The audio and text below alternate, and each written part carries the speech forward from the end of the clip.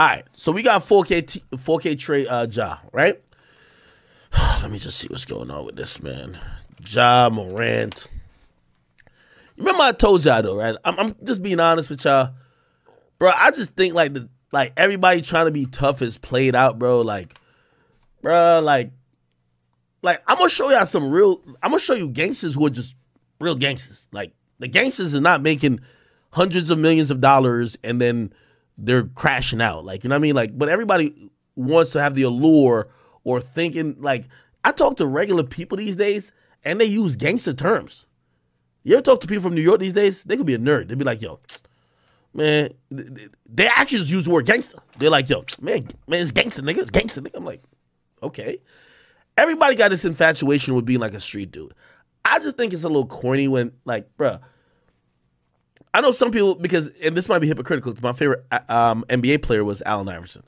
Like, you know, a lot of people thought Allen Iverson was a street dude, but I don't think Allen Iverson brought that into basketball. I don't think Allen Iverson was trying to be street in basketball. He just hung out with street dudes outside of basketball.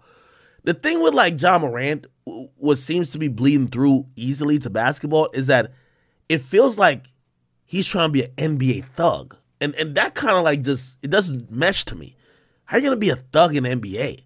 Like, it's the same thing I'm saying about the, that Nazi BK dude. If you like this savage or whatever you're doing, go do it with the real savages. Like, I want to hear about, like, I don't want to hear about you pulling guns on 17 year olds. Like, there's actual niggas who were probably in Memphis who probably really want some smoke with you. Pull guns on them. Like, I, I hate when I see the gangsters not doing gangster stuff and you read about it and it's like, bro, just play basketball. Okay, so anyway, the latest thing is that uh, uh, NBA star Ja Morant. Okay, they want me to take my ad blocker off. It's not gonna happen. Let me go to another article. Fuck out of here, man. Yahoo Sports probably. He reportedly accused of repeat. He's accused of repeatedly punching a teenage boy in the head, threatening him with the gun last summer. Now, I'm gonna be honest, and even though, like you know, you know, I am critical of Ja Morant because, bro, I just think he's too talented. And bro, just stop. Like, why do you?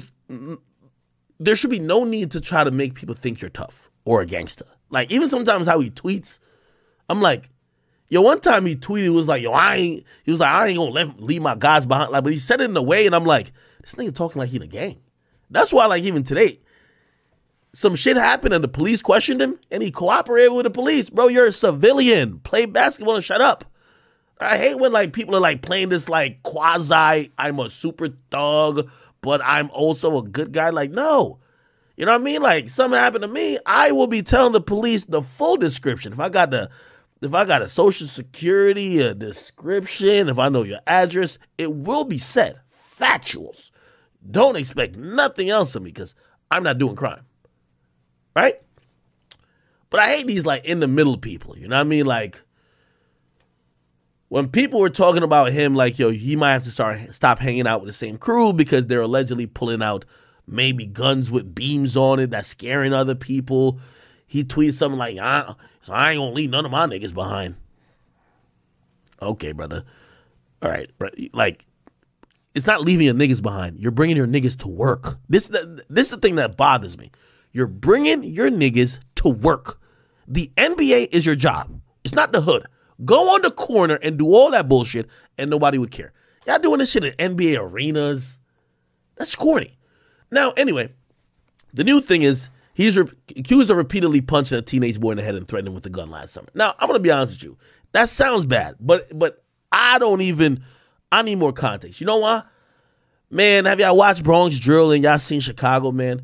Yo, these kids be 16 and they think they're the most demonic murderers. You sometimes if you if you treat minors as just their kids, they gonna kill you.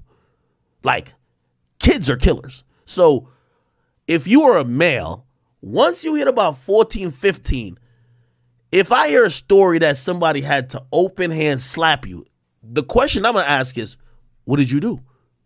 Because sometimes these little niggas, not only are they coddled by the law because they're juvenile, so they don't think there's no punishments, some of these dudes really be on that type of timing like any adult. So it sounds crazy when you hear teen, but I usually chill because these days a teen will kill you, nigga. A teen will fucking kill you while he's on Instagram Live. Okay. The alleged incident came four days after another incident where he, he allegedly threatened the head security at the Memphis Mall. Both allegations are emerging after a month of several of his acquaintances allegedly threatening harassing Pacers staffers with a red laser. In the incident, the teenage boy is 17 year old. Oh yeah, nah, 17 year old. Uh, y'all don't even need to say 17 year old. I'm not thinking about him like a minor. I'm gonna be honest with you. Reportedly told police, Ja Moran, who turned 23, punched him 12 or 13 times during a pickup game at his house. What? He claimed Morant and a friend hit him so hard, left a large knot on the side of his head, which police observed themselves. So why isn't he charged if police observed the knots? The teenager also reportedly told the Shelby County Sheriff's Office detectives after the fight, Morant went into his house and reemerged with his hand on a gun visible in his waistband of his pants. Okay, so I guess Morant has a big property, I would imagine. He's a basketball player a super good one, and um, he has a court. Niggas come over there playing basketball. Something happened. He beat up on a kid, or let me not call him a kid. Like I, I'm sorry. I know you y'all won't get mad at me for saying, "Oh, why won't you call the 17 year old a kid?" I'm just saying. I know some 17 year old.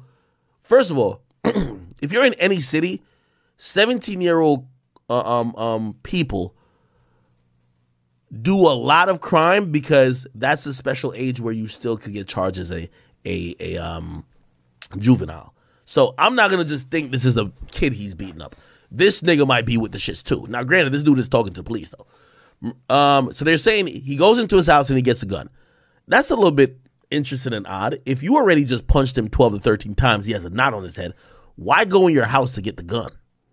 Okay, but whatever.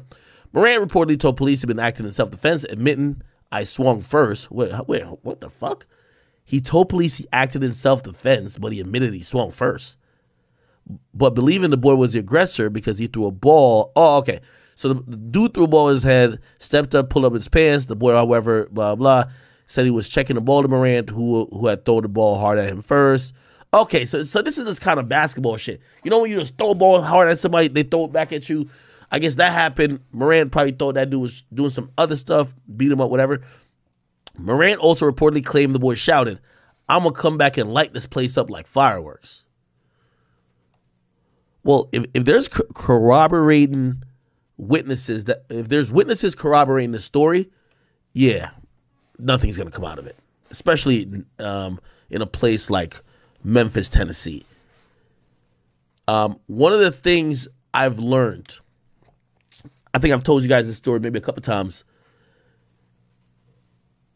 And this is why, like, even online, usually when people threaten you, they're not going to do nothing, right? Like, they'll be like, yo, when I see you, I'm going to do something. I'm, I'm when I see you, I'm going to slap you. They're probably not going to slap you. Or when I see you, I'm going to shoot you. I don't know who be saying that. Well, actually, some dumb niggas say that. They're probably not going to do it if they have any sense.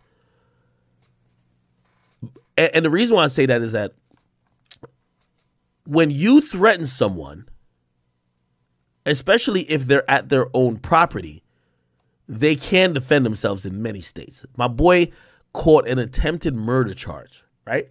He caught an attempted murder charge. He hit a dude in the head with a baseball bat. The case eventually got dropped. I'm going to tell you why it got dropped. Number one, and I learned this, and you should probably take this part of the story to possibly help you out if you live alone or have a property. Um, in court and in pretrial, pretrial like motion and shit, um, they did have to prove on the property were many obvious invisible signs that said no trespassing. What does that mean? If the the guy was on the property, right? So like he, he, it was like a small property. So like he just walked from the street like right up to the door, right? And everybody was there and some shit happened essentially that sign being there basically meant that he wasn't invited. So he was already not necessarily breaking the law but he's trespassing right? Cool. The next thing because by the way the dude was in a coma. So he got hit in the head with the baseball bat. He was in a coma for like four or five days. He did survive. Um, but but but my boy got charged with attempted murder. The way he beat it was because of the sign. Also here's the thing. There were two other people there that supposedly said uh, this is what happened. The dude said to my boy, like, because my, the, the dude really pulled up on my boy to say, yo, yo, I heard you fucking with this girl who's fucking with me. My boy's like, bro, like, what are you talking about? Like, you come over here, like, like trying to press me on a girl. Like, bro, I, don't, I ain't rocking with this chick like that. Whatever, whatever. They're having a conversation over the girl, right? Then this is what happens. The dude says, yo, I bet. Yo, when I come back on this block, y'all better not be outside. Okay? That's exactly what he said. And by the way, that threat alone got my boy off.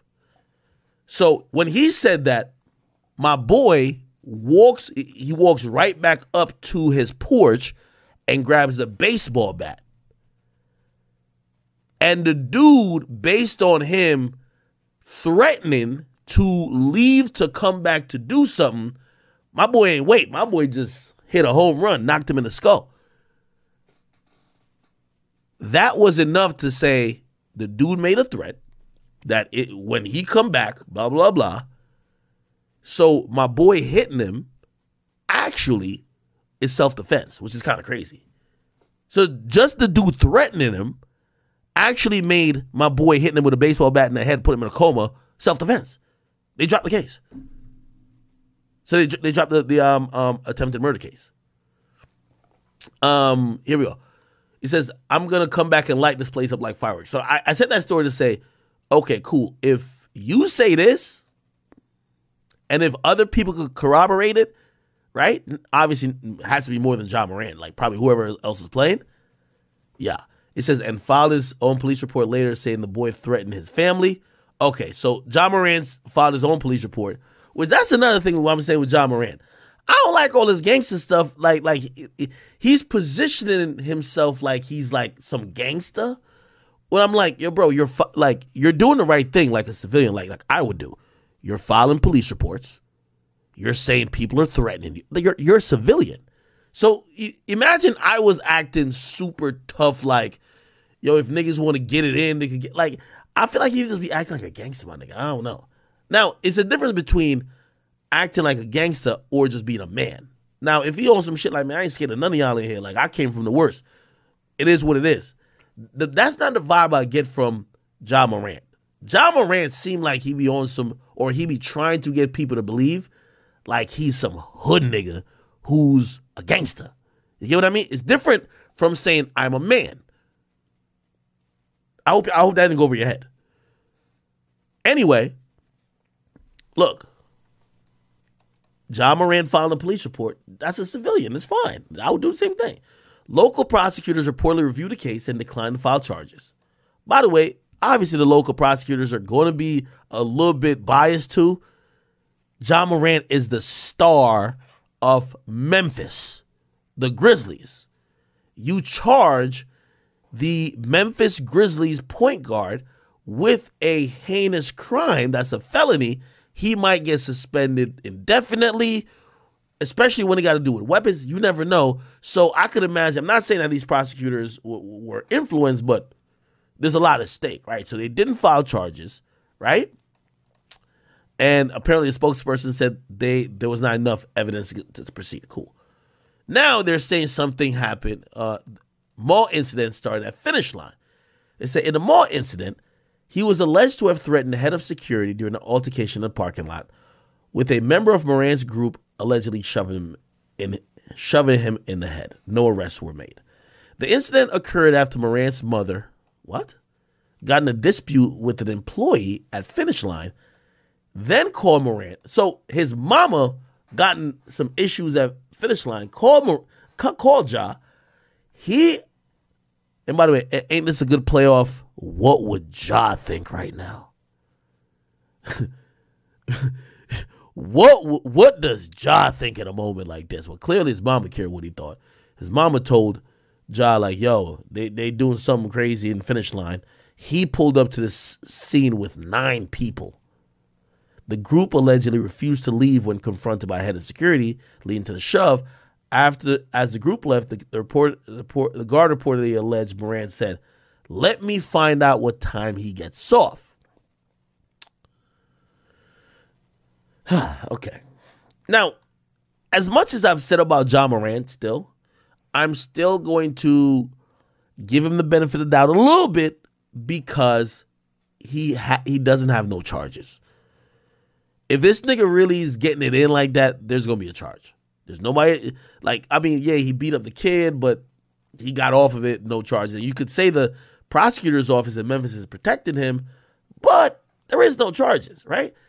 His agent said the allegations um, are just gossip. They said um, the allegations are substantiated rumors and gossip being put out by people motivated to tear Ja down and tarnish his reputation for their own financial gain.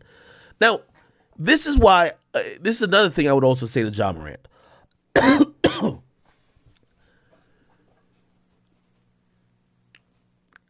this ain't the same NBA that Allen Iverson played for, where Allen Iverson was trying to be this rebel and trying to represent street culture. And when they were trying to get him to put on a suit, he would say no. Look, yo, these niggas is dressing, showing up and dressing to these NBA games fruity as hell.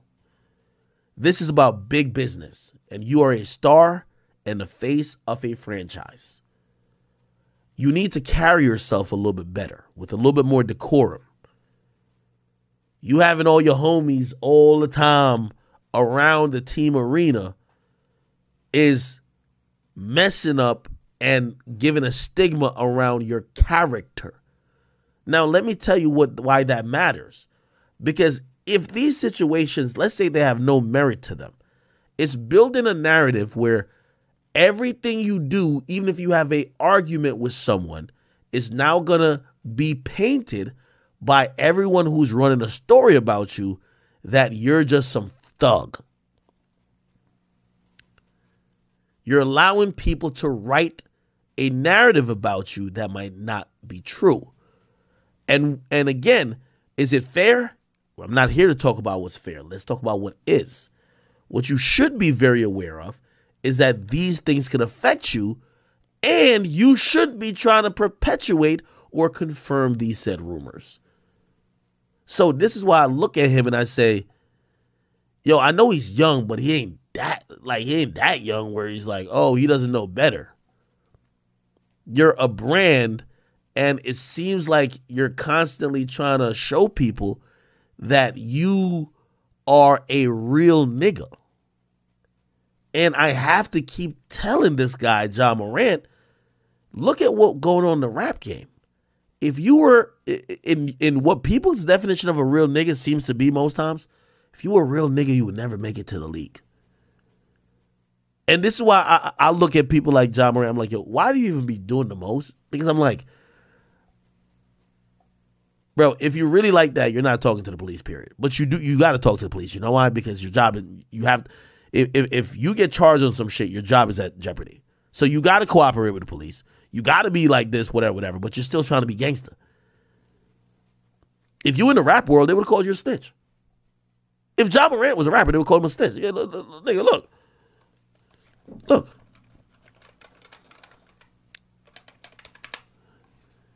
If if Ja Morant was a rapper and you read this about him in an interview with police, Ja Moran said he acted in self defense.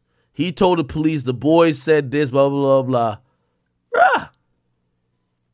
They would have called you snitching. You know how this hip hop shit works. This, I, am only saying this, and I'm, I'm a little repulsed by his actions sometimes because when you it, rappers that's how they make money they they actually have to tell you that the streets make sense and that being a street nigga is the cool thing because that's what your perception of them is that they could still have the litness to make money. Ja Morant is a basketball player. He's not making no money off trying his best to portray portray like he's just a real nigga. So I look at him like yo why is he doing it, it just sounds stupid to me. Anyway, um, pray for 4K Trey uh, um, Ja. Eventually, and, and and I hate to predict this, he's gonna have to bust that gun. Unless he's unless he's just NBA tough. Like he's one of them niggas who he think he's the only street dude from the NBA, so he's just acting tough with NBA players. But if he really moving like this in Memphis, and he's hanging around people and thinking that he's like that. And quick to pull out a gun. His homies got guns with beams on it. The thing about being a tough guy, there's always somebody. It's not about being tough; it's being dumb. There's always somebody dumber. So I'm hoping he course corrects, right? You know, shit. A lot of people course corrects before they they they they end up in a situation they can't change. But for right now, I look at him and I'm like, nigga, go work on your jump shot, nigga. Work on shooting outside 25 feet, nigga. Okay? Like, maybe you go with shooting a pistol like 25 yards away or 25 feet away, but your jump shot, nigga, is not that thing right now. You're a slasher. Anyway, pray for him, bro. Let me see what else is going on, people.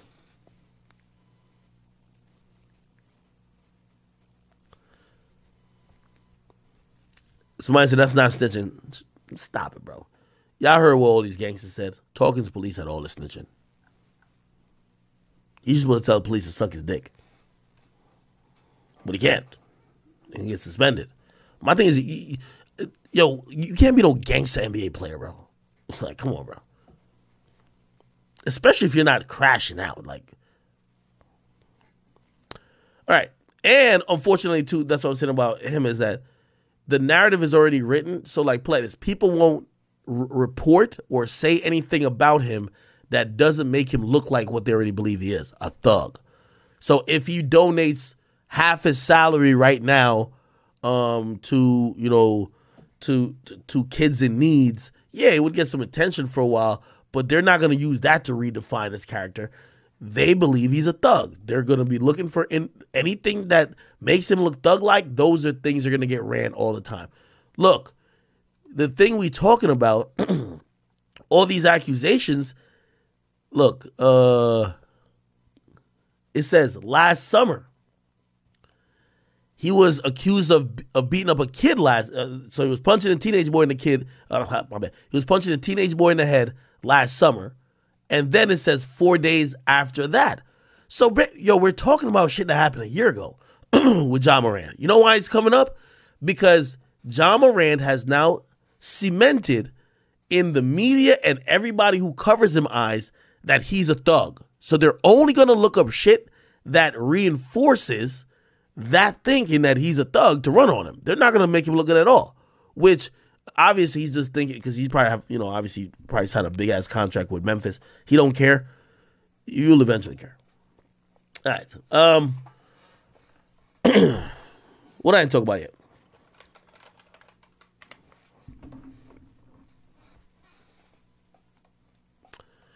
By the way, thank you, Playful Anxiety. Thank you for the uh, 10 gifted subs. Also, in them Guts EBK with, with also 10 gifted. By the way, uh, gotta give a big salute to Playful Anxiety. I made her uh, VIP. She is our number three top gifted sub or subber um, of all time. Yeah. How can I see per month? Yeah, she's she's top three. We got Irish Kings number four, Coalition Breezy number five, Jinx number six. And damn, In Guts been moving up. He's number eight. Oil Skull actually is number nine. Whiny Tugboat. No, no. Oil Skull is number seven. Then Whiny Tugboat number nine. Oh, and Honcho Zay number 10. I know all these guys. All right, cool.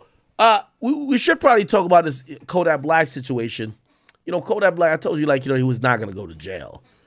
And if you don't know what happened, Kodak Black